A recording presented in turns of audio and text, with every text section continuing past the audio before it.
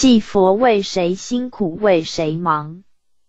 阴阳界鬼门关走遍了阴曹的藏二年来土尽心血抛出金砖，为的是望众生改恶从善。如今愿已完，留下的只有看众生是否回头向岸。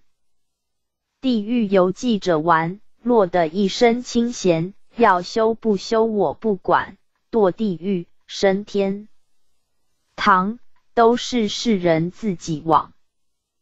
叮咛再叮咛，愿众生如莲出于污泥而不染。圣贤堂已到，扬身下莲台，魂魄投体。我即玉虚童子，要回天脚趾，回家家。家七十七，预兆本堂司礼神登台复临 C 一，戊五年五月初三日、八日、六月一千九百七十八，盛世县客谕旨将将，命城隍五里外，福神十里外迎接。诸生肃静后驾，金阙内香徐。讲诗曰：八月中秋颁盛典，大千世界放光明。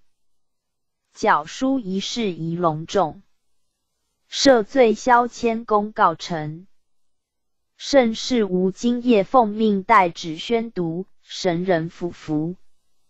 清奉玉皇大天尊玄灵高上帝诏曰。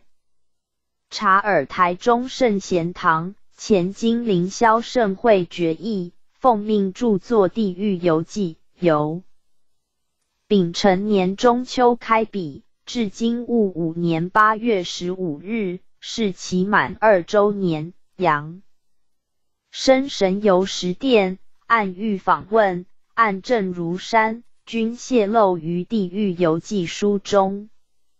其其刊登于《圣贤》杂志，为普化苍生世切，故该书须于今年八月十五日夜印成角书。届时将《地狱游记》一百零八册置于香案上，另焚三册，一角天庭，二角的府，三角人间天下都成黄，三曹对岸，以示尊岁。家的府各司参赞有功，除按功行赏外，并大赦罪魂以次，举行庆功盛会，详情另批交幽冥教主办理。人曹部分，凡著书中护法者、效劳者、者成后应诵者、宣讲者，皆按功行赏。缴书时。应将所有捐印者之姓名、住址、册数、祈愿制成表彰，焚呈上苍，以便汇集普化成果，案情施印。二年来诸生辛劳，葛的妙化之果无边，悉在接力，以匡正世道，立化颓风，而尽大同，物为正命。轻灾勿乎，叩首谢恩。天运戊五年五月初三日、八日、六月一千九百七十八。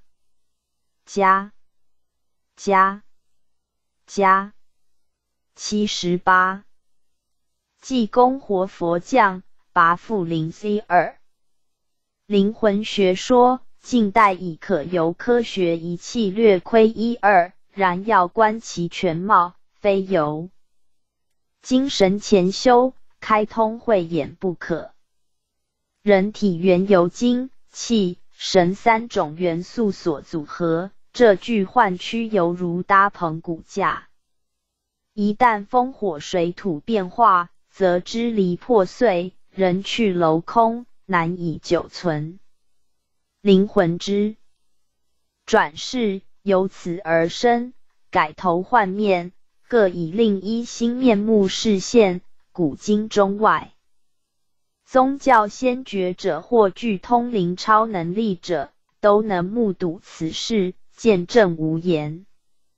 加《地狱游记》之著作，乃系上天慈悯众生，九堕红尘，贪嗔痴三毒旺盛，造业多端，造成道德沦落。社会问题不断滋生，为匡正世道，造就更美好人生，呆准泄露民腐实况，以警示化俗，倡导善行人风，推弘真理道义。相信凡有良知写信之人，见此游书，阅读之后必能放下屠刀。吾也愿助其立地成佛。二年余资，感触良多。仅引太上感应篇。祸福无门，为人自照。善恶之报，如影随形。一语作世书之结语。贫僧济公，仅拔于台中圣贤堂。戊五年六月念九日。二日八月一千九百七十八，加加加七十九。后继复临 C 三。本书合蒙各地公堂庙寺先进大德及各地读者同修协助支持，使能如期出版。在此仅表由衷感激与无限谢意。了物犹如夜的灯，无窗暗室忽开明。此生不向今生度，更待何时度此生？地狱游记完。